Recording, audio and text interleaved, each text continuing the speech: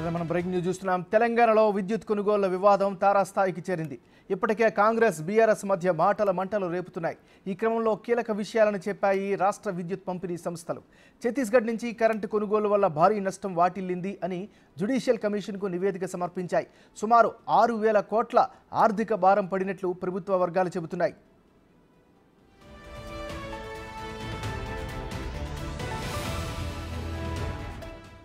బుట్టలు మనం breaking news చూస్తున్నాం. తెలంగాణలో విద్యుత్ కొనుగోళ్ళ వివాదం తారాస్థాయికి చేరింది. అసలు విద్యుత్ రంగానికి సంబంధించినటువంటి అవకతవకలు గత ప్రభుత్వ పాలనలో జరిగినటువంటి ఓవరాల్ వ్యవహారాలకు సంబంధించి పూర్తిస్థాయి విశ్లేషణ అందించేందుకు మా ఇన్పుట్ ఎడిటర్ పవన్ లావులు సిద్ధంగా ఉన్నారు.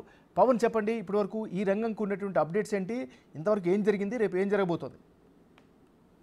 విద్యుత్ కొనుగోళ్ళు పవర్ ప్లాంట్ల నిర్మాణంలో భారీ అవకతవకలు చోటు చేసుకున్నాయంటూ దానిపైన విచారణ జరపడానికి జస్టిస్ ఎల్ నరసింహారెడ్డి నేతృత్వంలో కమిషన్ను ఏర్పాటు చేసింది. ఇప్పటికే ఆ కమిషన్ మాజీ ముఖ్యమంత్రి కేసీఆర్కి నోటీసులు ఇవ్వడం ఆ నోటీసులకు ఆయన సమాధానం ఇవ్వడం కూడా మనం చూసాం. సమాధానం ఇచ్చే నెపంతో ఆయన కమిషన్కి విచారణ అర్హత లేదంటూ ఆయన కమిషన్నే ఆయన తీవ్రస్థాయిలో విమర్శలు కుప్పిస్తూ ఒక పన్నెండు పేజీల లేఖ రాశారు.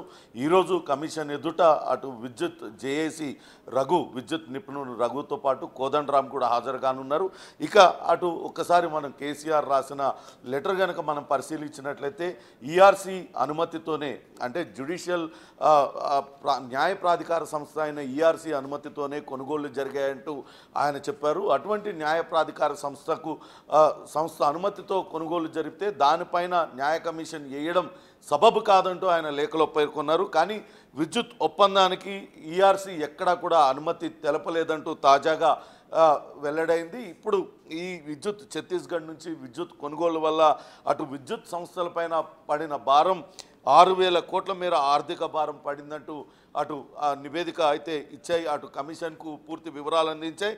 ఒప్పందం ప్రకారం ఛత్తీస్గఢ్ నుంచి మనం కొనుగోలు చేసిన యూనిట్ ధర మూడు రూపాయల తొంభై పైసలు. కానీ అది తెలంగాణకు చేరే వరకు దాదాపుగా ఆరు రూపాయలు ఐదు రూపాయల తొంభై పైసలు అంటే రెండు రూపాయలు అదనంగా పడిందని తెలుస్తుంది. దీనివల్ల ఎక్కువగా చెల్లించాల్సి వచ్చింది. ఇంకా ఇప్పటికే మనకు ఛత్తీస్గఢ్ నుంచి దాదాపుగా పదిహేడు పదిహేడు వేల తొమ్మిది వందల తొంభై ఆరు మిలియన్ యూనిట్లు విద్యుత్తు తెలంగాణ రాష్ట్రం కొనుగోలు చేసింది. అందుకుగాను ఏడు వేల ఏడు వందల పం పంతొమ్మిది కోట్ల రూపాయలు చెల్లించింది.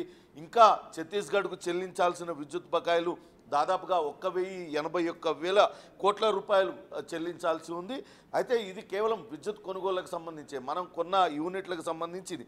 కానీ ఇప్పుడు అదనంగా ట్రాన్స్మిషన్ లైన్ ఛార్జీలు కూడా చెల్లించాల్సి వచ్చింది. ఎందుకంటే ఛత్తీస్గఢ్ నుంచి కొనుగోలు చేసుకుంటున్న సమయంలో ఒక డెడికేటెడ్ లైన్ వేసుకోవాల్సి వచ్చింది. దానికి సంబంధించి ట్రాన్స్మిషన్ లైన్ ఛార్జీలు ఒక వెయ్యి మూడు వందల అరవై రెండు కోట్ల రూపాయలు చెల్లించాల్సి వస్తుంది. దీనివల్లనే అటు యూనిట్ ధర అమాంతం పెరిగింది. యూనిట్ ధర వచ్చేసరికి తెలంగాణకు వచ్చేసరికి మనం కొనుగోలు చేసింది మూడు రూపాయల తొంభై పైసలు అని చెప్తున్నప్పటికీ ఐదు రూపాయల అరవై నాలుగు పైసలు విద్యుత్ యూనిట్ ధర పడిందని చెప్పాలి.